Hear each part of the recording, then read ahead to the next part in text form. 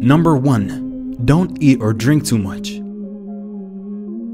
Eating too much is a common mistake made by many who fast during Ramadan.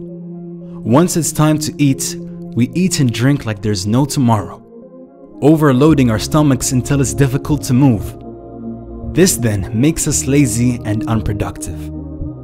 Keep in mind that Ramadan is about self control, not self indulgence. So let's try to stick to the prophetic rule on eating. Fill our stomachs with one third food, one third water, and one third breathing space, inshallah. Number two, give daily charity. The Prophet Muhammad, peace and blessings be upon him, was always generous, but even more so during the month of Ramadan. The rewards for charity are increased so much during Ramadan that we strongly advise everyone who can to donate a little amount every single day during Ramadan. The reward will be multiplied many times. This way you can also guarantee your donation is on Laylatul Qadr, the night of power. A person who donates only 10 pounds on Laylatul Qadr will have the reward of donating 300,000 pounds of charity. Subhanallah, don't miss out. Number 3. Pray five times a day. During the month of Ramadan, you will find the masjids completely packed out during Taraweeh prayers, which is amazing. But then, during the five daily prayers, you will notice the masjids are nowhere near as packed. Unfortunately, many people have mixed up their priorities. The fard, obligatory five daily prayers, have been put below the sunnah, Taraweeh prayers.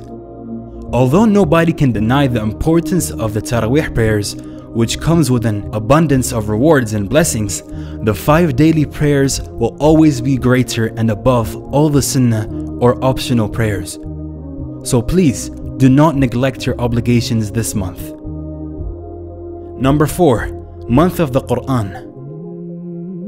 During Ramadan, many Muslims try to finish the Quran as fast as possible. Some people finish reciting it two, three, or even five times. Subhanallah, as though it's a speeding competition. It is recited without any understanding or contemplation. Although there is always benefit in reciting the verses of the Quran, there is a greater benefit in reciting with understanding because the purpose of the Quran is to guide mankind. And how can we be guided if we don't take time to understand the verses?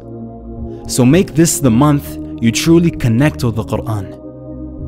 Number 5. Attain taqwa, God consciousness. The Quran prescribes fasting for the believers in these words O you who have believed, decreed upon you is fasting, as it was decreed upon those before you, so that you may attain taqwa.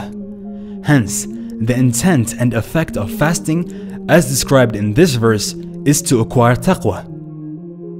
Presence of taqwa helps protect the believer from committing sins and to overcome the nafs, desires.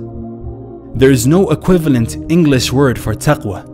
In Islamic terminology, taqwa refers to a state of consciousness where one constantly feels the presence of his creator, obeys his commands to attain his pleasure, and avoids disobedience to him, not only out of his fear, but also for the love of him.